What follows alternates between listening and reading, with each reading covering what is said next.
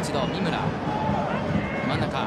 いや狭いところシュート。こぼれて。押し込んだ